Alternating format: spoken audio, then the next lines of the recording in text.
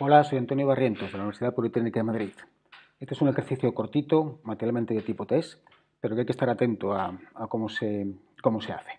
Nos dan eh, tres sistemas, nos, nos, hablan de tres sistemas, G1, G2 y G3, y nos dicen que responde, importante, al impulso, al escalón a la rampa. Es decir, cada uno de ellos se ve sometido a una entrada diferente. Impulso, escalón y rampa, todos unitarios, según las señales dadas por I1, I2 e I3, que nos están dando aquí.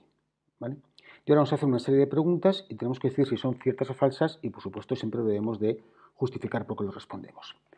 Bien, yo aconsejo para que no nos perdamos el que en lugar de trabajar con las, o digamos a partir de las señales de respuesta al, impulso, escalón y rampa I1, I2 y 3, empecemos por encontrar las funciones de transferencia G1, G2 y G3. Lo podemos hacer sin ello, pero posiblemente nos liemos y nos equivoquemos pensando que lo que tenemos eh, aquí es la función de transferencia y no. Entonces, lo primero que voy a hacer es encontrar estas funciones.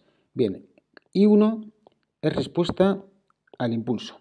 Por lo tanto, la función de transferencia sabemos que es directamente la transformada de la plaza de la respuesta al impulso. Luego G1 directamente es la expresión que me están dando como I1. Es la función ponderatriz, la respuesta al impulso. S más 1 y S más 2, abajo y por la S. ¿Qué pasa con I2? Es la respuesta al escalón.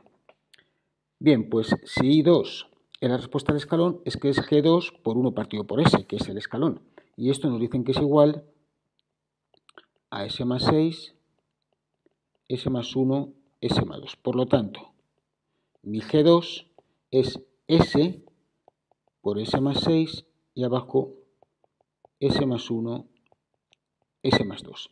Y por último, la I3 nos dicen que es la respuesta a la rampa unitaria.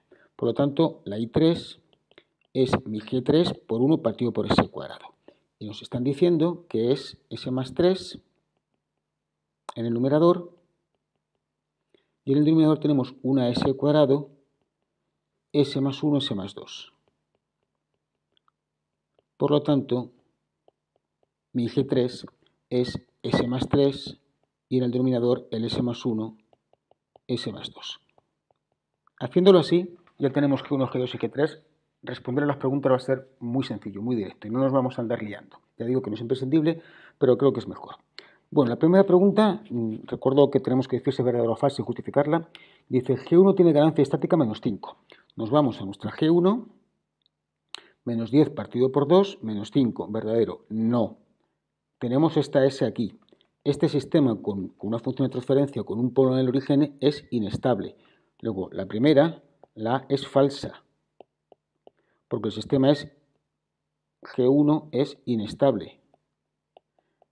No hay ganancia estática, no hay régimen permanente, no hay estático, es inestable. La B, nos dicen que G2 o si G2 tiene ganancia estática 3. G2 es esto de aquí. La ganancia estática, el valor final de la respuesta al escalón cuando el sistema, eh, cuando el tiempo tiende infinito, vemos que aquí tiene este cero en el origen. Luego, la g de cero, que sería esa ganancia estática, el sistema es estable, aquí no hay problema, la g de cero es cero. Luego es falso que sea que la, el régimen permanente, que la ganancia estática, perdón, valga 3. Es falsa. La ganancia estática vale 0.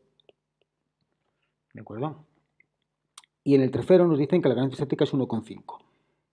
El de este de aquí. ¿Vale? Sistema estable. Ganancia estática es la G de 0. 3 partido por 2, 1,5. Luego sí es cierto. La C es cierta. La K sub E es la G sub 3 de 0 y es 3 entre 2, 1,5. La cuarta pregunta, que es de otro bloque. Dice, G1 es inestable. Sí, ya lo hemos dicho. G1 es un sistema inestable. Tiene un polo en el origen.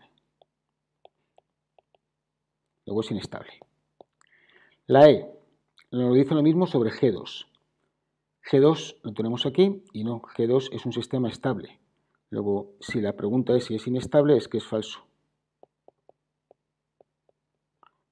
Dos polos en semiplano izquierdo, sistema estable sin problema. Y la F, que es lo mismo respecto a G3, tenemos la misma situación.